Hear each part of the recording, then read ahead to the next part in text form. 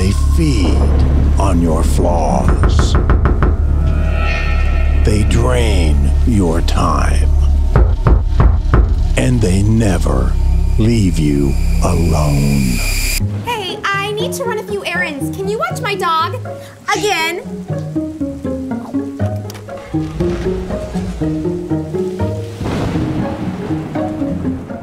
Welcome to Discovery Church, man. So glad that you guys are here with us. This whole series is about loving people. How do you love people? God has called us to love everybody. You guys know that? Like, we're called to love everybody. But I wonder how many of you have uh, realized that some people make it really hard. I mean, you know what I'm talking about? Because the people in your life that make it really hard to, to love them. So we're doing this series called Relational Vampires. Because what, what, do vampire, what do vampires do? Vampires suck the blood out of you, right? What does a relational vampire do? A relational vampire sucks the life out of you, okay? So we're gonna have four different topics, four different types of relational vampires, and how can we love them and be, how can we set up healthy boundaries in our life and still yet love these people that God has called us to love that make it very difficult to love? So here's the first uh, type of relational vampire we're talking about today are the incredibly controlling people in our life. Those people are very controlling. How many of you know a control freak here? Anyone knows a control freak? If you tried to raise your hand down and the person next to you tried to pull it down, you're probably sitting next to a control freak. Or even when I said that, control freak, do you know a control freak? Your mind probably went to a few people. You're probably thinking about something. Don't point to them right now. Don't point to them. It'll make this message very awkward and very hard if you point them out right now. No, I'm kidding. It's just, it's, it's unfortunate, you guys. We've all been hurt by controlling people. Every one of us, whether it was like an authority figure, a parent, an aunt or uncle, grandparents, or a boss, or a supervisor, um, it, it, we, a lot of us have been abused and hurt by um, controlling people. And, and oftentimes, they're not, the, these people aren't malicious. They're not intentionally trying to hurt anybody. Most of the time, they're just operating based upon the, the scripts that were passed, passed down to them from their parents or they're just they're just they're hurt themselves and they don't know anything else but to hurt people so in this series you're not only going to probably hopefully hopefully discover and i am going to teach there's going to be a lot of teaching today because um, I think that the, the, idea with controlling people, it's so deceptive to find a controlling person. Because what they do, what controlling people, they don't respect you. They don't respect really or value who you are. They're trying to create a new you. They're trying to, they're trying to put a new version of you and replace you with the version they think of you. They're trying to give you a new image. Instead of the image God created, they're trying to recreate you in their image. So, really, what they're doing is, is these relational vampires are, are taking our souls, controlling, manipulative people. They try to rob you of your identity and your soul. And there's, I think, a lot of people that are unknowingly affected by like you don't even know who you are you only are who you are you are who they think you are and they who you want who they want you to be so i'm, I'm gonna teach a lot in this message and in this series because i need the help of the holy spirit and his word to shine some light into the areas of your relationships or possibly even into your own life where we can adopt tactics that are controlling and manipulative and it's not that we're bad people it's just if you put us in that situation in that specific circumstance or with that person, things happen and we become something that we don't want to be. So I'm going to teach this and expose some things and get really teachy for a moment, but it's hard. It's really hard to identify the people and the tactics when they're employed ourselves. Philippians chapter 2, verse 3 and 4 is a really good verse. It's just really hard to do. We like it, but it's hard to actually live this way. Do look what he says, do nothing from selfish ambition or conceit. We like that. It sounds good. But are you hearing this? Do nothing because you're going to benefit from it and you're going to grow from selfishly. That shouldn't be your motivation. Do nothing from selfish ambition or conceit, but in humility, count others more significant than yourself. Like treat people better, as better than you. Let each of you not look only to his own interests, but also to the interests of others. Control, control is a, is a big problem in our, in our relationships. And it comes in, it's in our family, in our friends, in our romantic, in our professional. When people control you, they're trying to make up a new reality for you. They're trying to replace your reality and narrative with a, with a different reality and narrative. So, so here's the big, like a big idea today, and in this series is, is this. I don't think it's in your notes, but you guys might want to take a picture of this. All relationships come from two things what we create and what we allow. You think about it. Like all of your relationships, you guys, every relationship you have, your marriage, your siblings, your boss, your coworkers, your, your friends, your children, they're always a combination of either the things we have rightly or purposefully created or what you have passively allowed. So we've created patterns. We create healthy patterns or we allow unhealthy ones. Every relationship you have is a combination of those two things the things that you have created in that relationship or the things you passively allow. You think about that person that drives you crazy.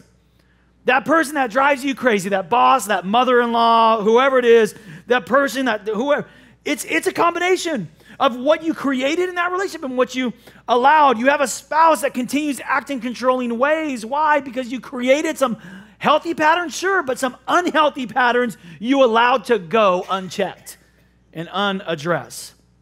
Controlling is a form of manipulation.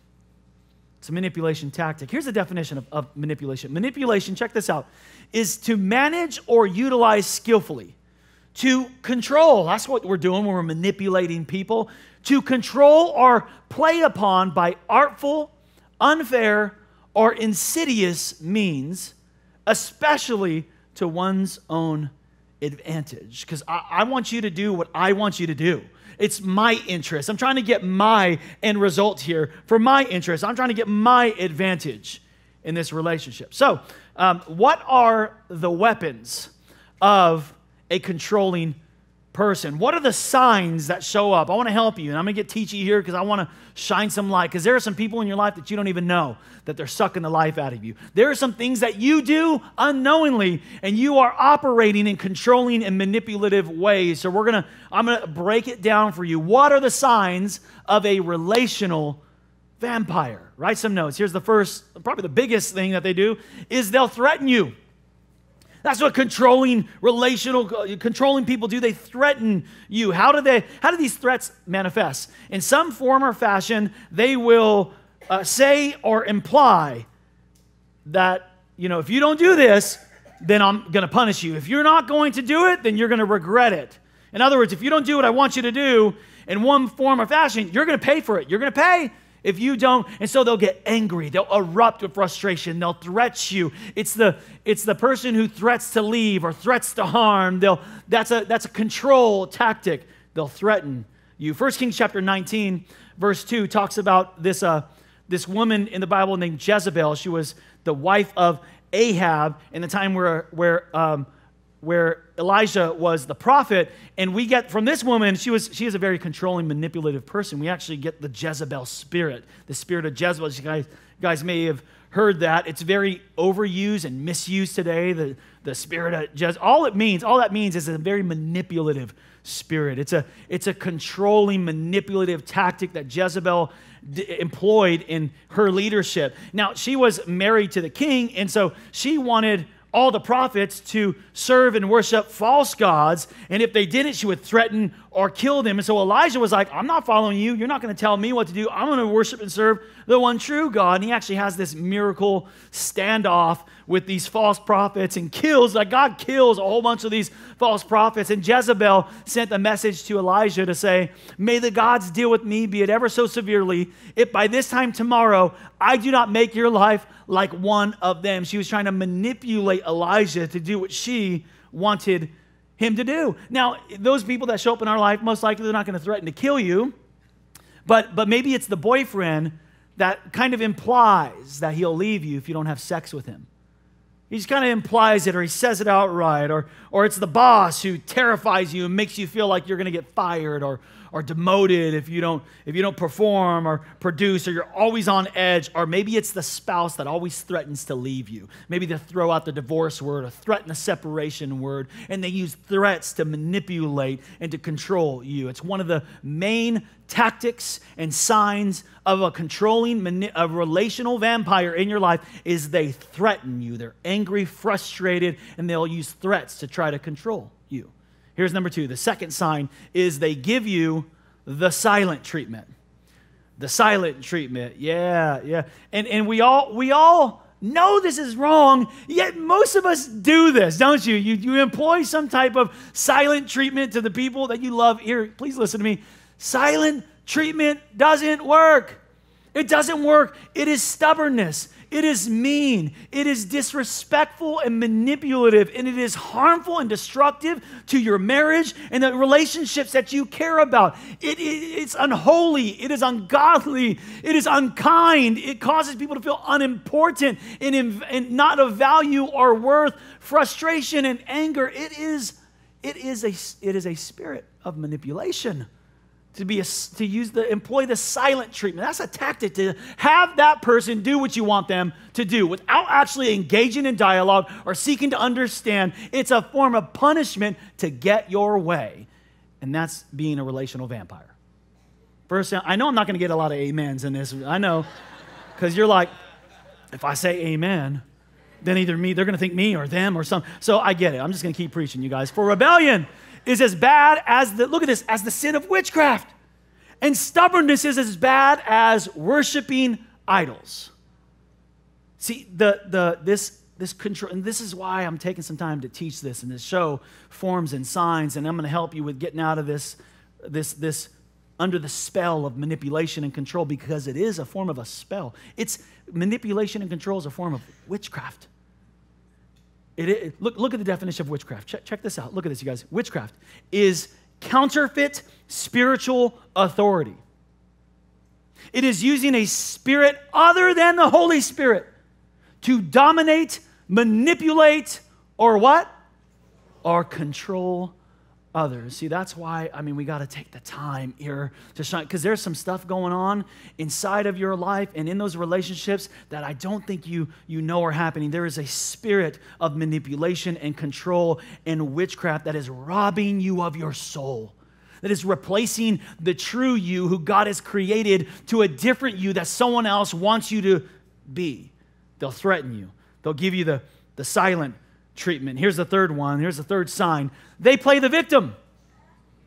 They play the victim. Yeah, so controllers and manipulators in our life, they're hard to place and find and pin because they, they're really good at turning the table on you, man. They'll turn the victim card, turn it back around you so quick. So when you tell a controller something like this, please don't talk to me like that, the controller will usually say something like, I don't need to be attacked like that. And they're the one like yelling in anger and threatening you. Or incredibly, you can't control me. You're so controlling. They'll put it right back on you. It's amazing how they play the victim. Or they'll say something like, Why do you always have to start fights like this? It's so it was going so good. And they play the victim card. And it's I'm telling you, it's a reality distortion. They distort reality, and it's a spirit of confusion. It's, it's, a, it's a spell that we're under. Judges chapter 16 says it this, this story is, is Samson had this girlfriend by name of Delilah who actually was a relational vampire, manipulative person who, who used this victim you know, tactic to, to control Samson. And it's crazy. We read this story, and we all, we all uh, most of us read it, and we're going to read it right now. And we look at it from the outside in, and we go, Samson, what are you thinking, man? She's obviously a snake in the grass, man. She's obviously trying to manipulate you. But when you're under the spell, when you're under that manipulation and your soul has been taken little by little and life sucked out of you, it's hard to see. And I'm just praying in the mighty name of Jesus for revelation to happen in this place today, freedom to happen in this place today. Delilah pouted how can you say you love me? She's trying to kill, she's trying, she's trying to betray him to get the secret of his strength and betray him to the Philistines. How can you, she turn the tables on him? How can you say you love me when you don't confide in me? You've made fun of me. That's not even the reality. That's not what happened. It's not what happened at all. She's actually got caught two different times already, but she's twisting on him. You've made fun of me three times now, and you still haven't told me what makes you so strong. So, day after day, look at this. She nagged him until she sucked the life out of that poor dude until he couldn't stand it any longer. And finally, Samson told her the secret. She played the victim, she turned the tables on him. And and those relational vampires, those controlling, manipulative people are really good at pulling the victim card. That's how you, you can, there's a sign of a controlling person. Here's the fourth sign, and that is they guilt you. They will guilt you, these controlling people. So uh, they'll say things like, After all I've done for you, why, after all, I thought we were friends. I thought we were close. Um, or, or obviously, I can't count on, on you. I guess I can't count on you. And they'll guilt you into doing what they want you uh, to do. Or, or some parents employ this guilt tactic as a parenting tool to get your kids to do what you want them to do. And unknowingly, you parents are, um, listen, you are biting your children and creating relational vampires just like you. I told, I said it, I said it, it wasn't gonna happen. Some people are chronically, like they're chronically, you're bailing them out, right? And they'll make you feel guilty, so you keep bailing them out, bailing them out, bailing them out, and coming to their rescue. And, they, and, and controllers and manipulators, they, they guilt you. They tried to do it to Jesus. Luke chapter 10, um, Martha tried to actually guilt Jesus into, into doing something that you know he didn't want to do. So she, Martha, had a sister called Mary who sat at the Lord's feet listening to what he said.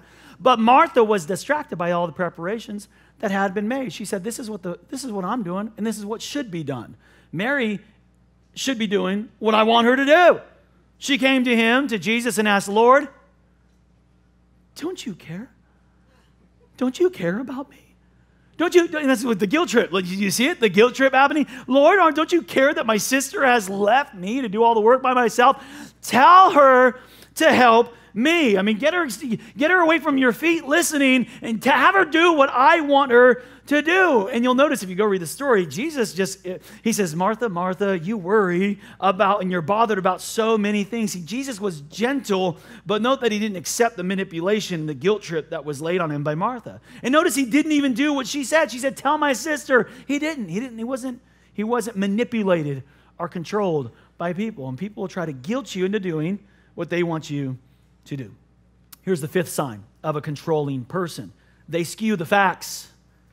They skew the facts, kind of like, you know, Delilah was in, in, in saying that, that, you know, you, you, you love, why, why, why are you making fun of me? So they don't, they don't accept responsibility for failures or or so what they'll do is because if they apologize, if they accept responsibility and they have to apologize, apologizing to a manipulator and controller is losing control. That's what it is.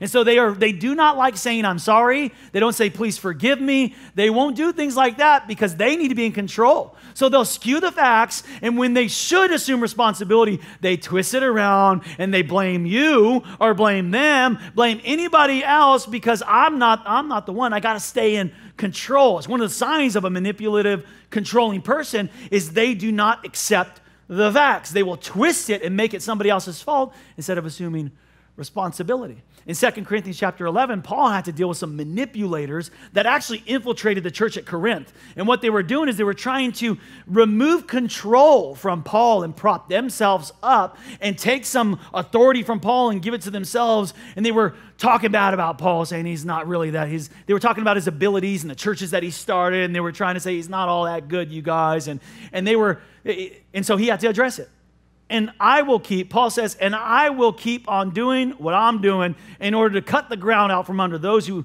want an opportunity to be considered equal with us in the things they boast about. He said, I'm going to continue to doing what God has called me to do. I'm going to do, and that what that is going to do, I'm just going to continue, and it's going to cut the feet out from under. I'm just going to continue. I'm not going to let them control me or manipulate me. For such people are false apostles, deceitful workers, masquerading, manipulating as apostles of Christ, and no wonder, for Satan himself masquerades as an angel of light. He says it's no surprise then if his servants also masquerade as servants of righteousness. Their end will be what their actions deserve. He says, "Hey, no, go ahead, just watch it. Watch the fruit. Watch the, watch what the end result is. You go ahead and watch. I'm going to continue to do what God has called me to do. You watch their actions. See what the end result of that is going to do. I'm not going to let them control me and let them skew the facts. It's a sign of a manipulative controller. Here's the sixth one, and the last one I'll give you is that they twist your words. They'll twist your words. They'll they'll they'll repeat your words back to you with some flair and flavor. Put some words in your mouth that you didn't say. They just twist it. Uh, the, the psalmist David in Psalm 56, he dealt with people like this. He said, All day long they twist my words.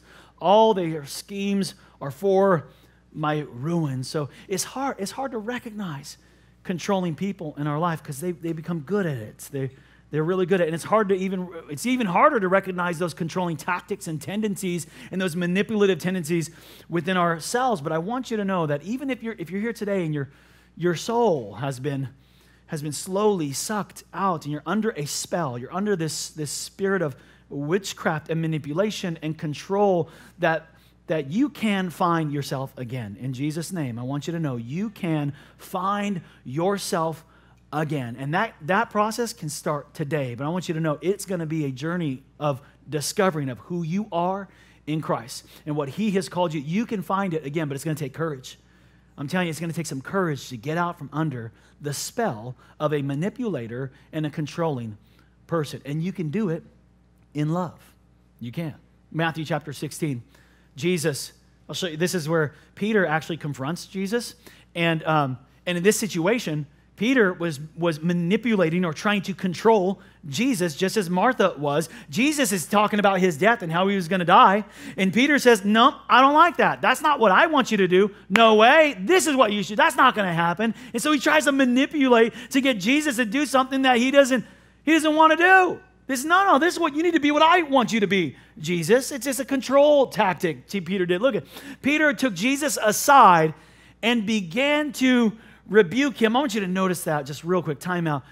Peter took him aside. The people in your life that are trying to control you and manipulate you, that's one of the tactics they'll do. They try to re- isolate you from other people. They would try to remove you from other people to manipulate and control you. Okay? They they they don't do it in front of people because they don't want people to know that they're manipulative and they're controlling. And you're a lot easier. You're a lot easier to control and manipulate in private. So that's another sign, kind of on the side there, you guys. Those people in your life that are trying to isolate you from your brothers and sisters in Christ. Those people that are trying to isolate you from friends or relationships, and, and they're trying to just get away with me, get away, no, no, no, and they're very territorial, and they're very, those, that's a sure sign, and I'm speaking to someone today in Jesus' name. You need to receive this. That's a sign, man, that that is a vampire sucking your soul removing your identity. Okay? Peter takes him aside so he can manipulate and control him.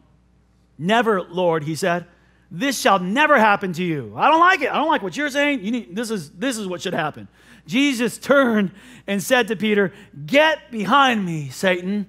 You are a stumbling block to me. You don't have, look, and here's the key this is why we control people, situations, manipulate, because we don't have in mind the concerns of God but merely human concerns.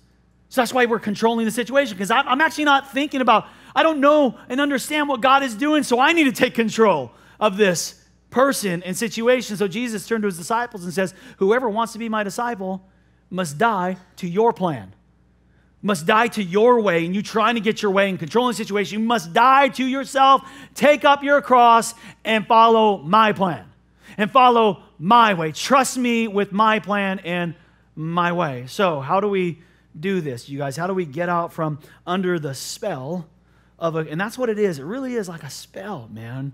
Uh, being controlled and losing our identity, not even knowing who we are anymore. How do we do it? I'm going to give you some steps, and, and I want you to be courageous. And the first one's already up there. This is, got, this is where you have to start. You got to start right here. Repent for following, following under false authority. You got to ask God to forgive you for coming under a false authority. Listen, if you give control to another person, God is not directing you, they are.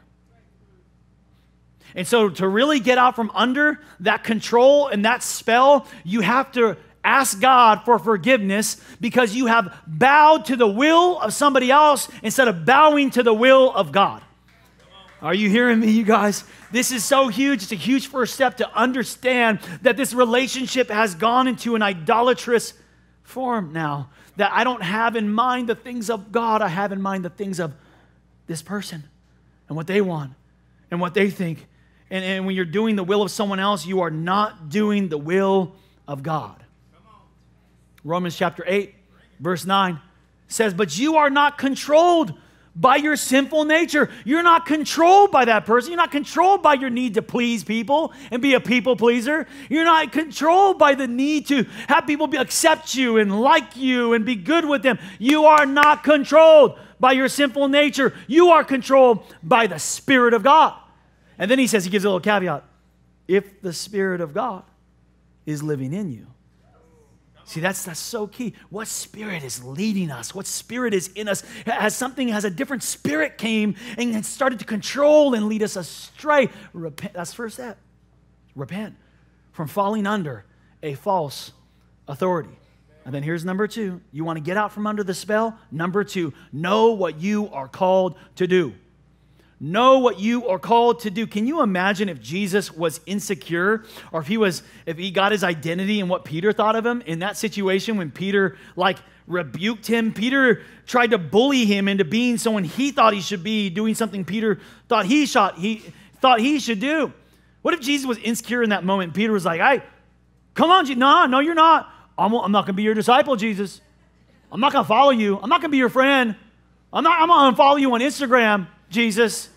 What would, what, but Jesus, he knew who he was and what he was called to do. He knew he was called to seek and to save sinners, that he was to give his life as a ransom, to be killed and to be raised to life. You listen, if you want to get out from under the spell of a manipulative and controlling person, you got to know what you are called to do.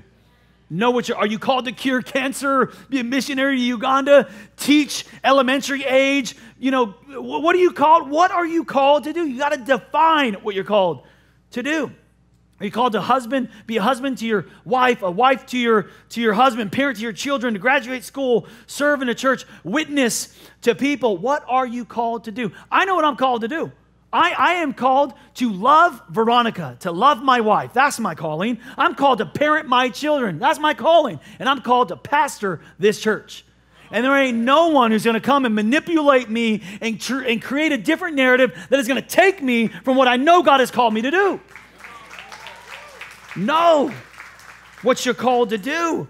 Proverbs chapter 29 says it like this Where there is no vision, when you don't have purpose, if you don't know what you're called to do, the people get what? Out of control. Some of you do not have control, other people have control. You are out of control because you do not know what you're called to do. And you're under a spell from people who have an idea. Because there's going to be people, look, everyone has an idea of what you're supposed to be called to do how you're supposed to spend your time, what you're supposed to do. Everyone has, but listen, you cannot save everybody. You can't meet everybody. You can't do everything. Calling clarifies. My calling clarifies what I'm supposed to do. So, not repent from falling under false authority. But the second thing we need to do is we need to know what we're called to do. Here's the third thing we need to do to get out from under the spell of controlling people. Learn this one's so empowering. Learn to say no. That's a good word right there, man. That's a powerful word.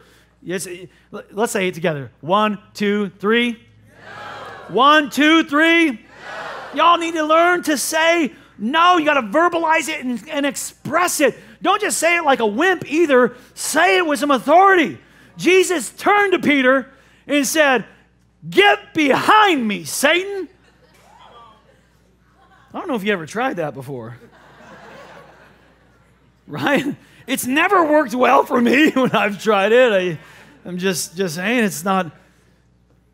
But G- Jesus said this. Jesus said, Look, this is what you do. Matthew chapter 5. He says, All you need to say is simply yes or no. Anything else comes from the evil one.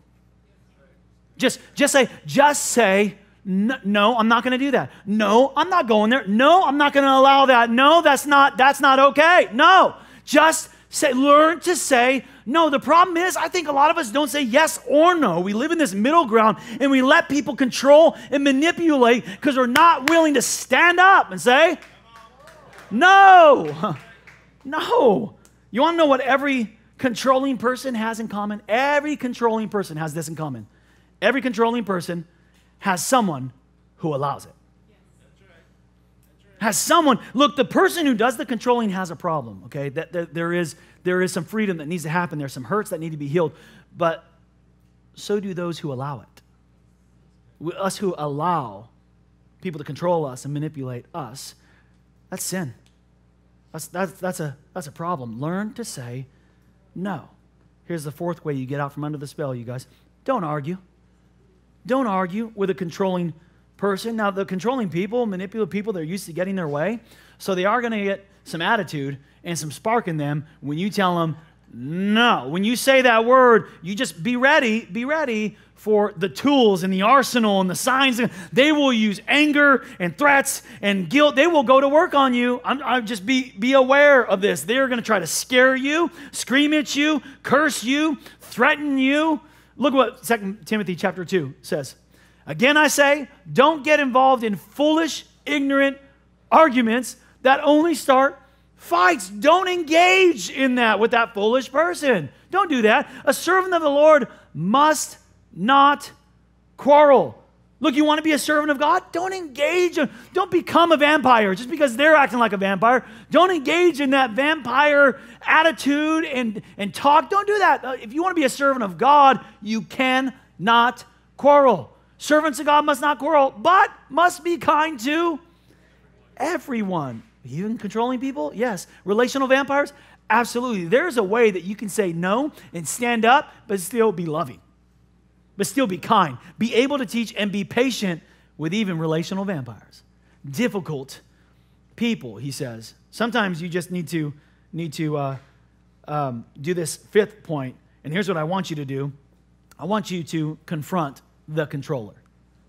I'm really, I want to challenge you guys because if you hope to save the relationship, the manipulator needs to be made aware and given opportunity to repent. They do. Look, if you want to save the relationship, you need to confront that person. Some, okay, some manipulative, controlling people in your life, you don't need to save the relationship. Some of them just need to be cut off. You know, some of you just need to distance yourself and be like, I'm done with that. I'm, I'm, I'm moving on. But there are other relationships that you need to and want to, desire to restore and keep. The, the thing about manipulators and controllers, those relationships are often very close relationships. If you look all in the biblical record of all the people that were controlling and manipulative, Adam and Eve and Miriam with Moses and Aaron, even Samson and Delilah, you have Eli and, and his sons and the people, all these different people. It was, it was with close relationships. So if you want to restore and keep that relationship, you have to confront. And the reason why we don't confront them is because we either want to be liked too much and it's not love. That is not love to let people be manipulative and controlling and operate under a false spirit. That is not love. We either want to be liked or we don't want retaliation. But if you want to be out from under that spell, you have to confront and give them an opportunity to be free. Give them an opportunity to repent. Uh, 2 Timothy chapter 1, verse 7 it says for those of you that are like i don't know that person i don't know if i can confront him for the spirit of god has given that the spirit that god has given us does not make us timid, doesn't make us afraid. Instead, His Spirit fills us with power. And not power to go be mean to people and beat up on those people because they beat up on you, power and love.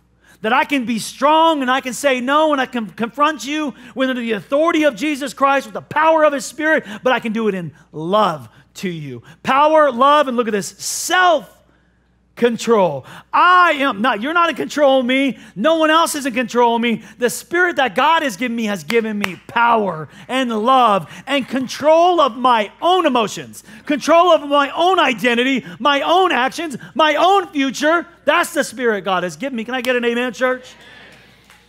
So you have to, a lot of times when you confront the controller, you need to redefine the relationship, though. It needs to be redefined. Jesus told Peter that, that he was being a stumbling block to Jesus concerning the things of God. He said, Jesus said, Get behind me.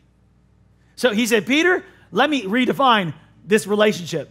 Especially if, if you're not going to follow me into my purpose, what God has called me to do, you need to get behind me. And by the way, Peter, I'm the one leading, not you. Get behind me. You got to redefine the relationship. When handling, controlling, or manipulative person, you need to let that person, let it be known that you are more interested in pleasing and following God than pleasing and following them. Confront the person. Why did Peter? See, Peter was Peter was not like the worst guy ever. He wasn't the worst guy ever. Peter wasn't like like he didn't hate God. His plan was not to distract Jesus from saving the world and people. No, like just a moment ago, Peter won Jesus Jeopardy. Right? Peter, Jesus asked, Who do men say that I am? And G- Peter wins Jesus Jeopardy. Here, I know what you are, Jesus. Ding, ding, ding, ding, ding. You're the Messiah, the Son of the living God. And so this wasn't, Peter's not like a bad person at all. Why did Peter try to control Jesus? You know why? Because Peter didn't understand God's plan. And when you don't understand God's plan, I'm going to default to my plan my way. It doesn't fit my narrative. Let me end with this because if all relationships come from what we create and what we allow, and you don't like what you have, then number six, change what you expect and accept in your relationships. You need to change what you expect and expect. Expect something better in your relationships. Accept. you got to get to a place where you say, I will not accept disrespect anger, name calling. I will not accept this tone in my life. Like when a toddler has a fit. Some of you parents, a toddler has a fit in a store, right? You don't cave into them every time and let them let them develop a bad pattern. I hope you don't. But uh, you know, to be honest, sometimes you guys do, right? If a lot of people are around, you're like, oh, and just keep going on for 20 minutes. You're like, okay, here's the Snickers. But you whisper to him, I'm gonna kill you later. right? I know. You got to draw a line in the sand. Guys, change, change the dynamics. What you've allowed, what you created. See, you, you created some things, you allowed some things, you, you, you, you responded in like terms, you name called, you, you escalated with them. You need to change what you expect and what you accept in that relationship. 1 Timothy chapter 4 says, Do not let anyone treat you as if you are unimportant. And I speak to hearts and souls right now. Some, some of you who don't know who you are, that your soul has been slowly sucked out by manipulators and controllers in your life. And Jesus really wasn't controlling. There were other people driving you and controlling you. And I speak in the mighty name of Jesus that you are valuable and you are important. And God has a calling for your life. Do not let anybody treat you as if you are not valuable and precious and unimportant because of whatever the case may be. Instead, he says, this is what you do. Don't go beat him up. Don't go, don't go, don't go exchange dukes. Instead, be an example. Don't become a vampire. Don't, don't, don't deploy the same tactics that your parents use and that those people use. And don't manipulate, don't maneuver behind the scenes. Be an example to believers with your words, with your actions, with your love, with your faith, and uh, pure life. I want to speak to anyone here. Maybe you're you, you're that controlling, manipulative person. And maybe you know it, you know it. Or maybe you don't really know it, but maybe some of the things just rang true. And I want you to know you're not a bad person. You are not a bad person. It's just, it's maybe you, you're just operating on some things that you were learned. You learned yourself from your parents. Or maybe there's some hurts and insecurities, there's some fears and some things that truly have not been surrendered to God. And because He's not in control of those situations, you haven't surrendered it and you still are, you take control. You're not a bad person. You just need to surrender to Jesus. I'd love to give you an opportunity to do that today. Or maybe you're here today and you didn't know. Maybe, maybe you're on the, the, the other side and you've allowed someone to control and to manipulate you and to remove your soul, your identity and you're kind of lost. There's even the reality is distorted and there's a lot of confusion happening in your life. And I want to pray for you as well that you would that you would come out from under the spell and be free and start to rediscover or discover for the very first time some of you who God has called you to be, what he's called you to do. And that he'll give you a new name and an identity in him Can we do that together? Can we bow our heads all across this worship center? I'd love to pray for you. God, I just thank you.